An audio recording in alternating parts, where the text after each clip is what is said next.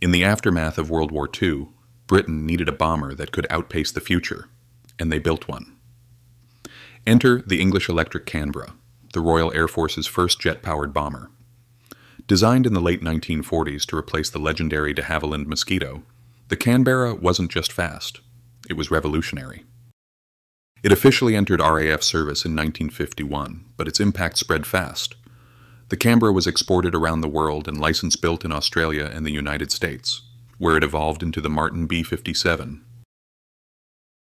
This aircraft didn't just fly, it set records.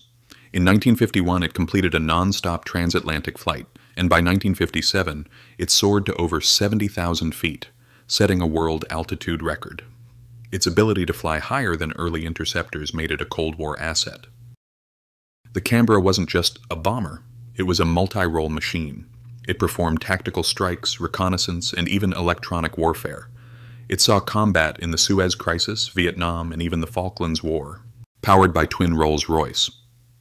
Avon engines, the Canberra carried up to 10,000 pounds of ordnance, all packed into a clean, efficient airframe. Its design emphasized simplicity and rugged reliability, making it a favorite of pilots and engineers alike. Over 1,300 Canberras were built, and their service life was long. The RAF didn't retire the type until 2006, after an astonishing 55 years.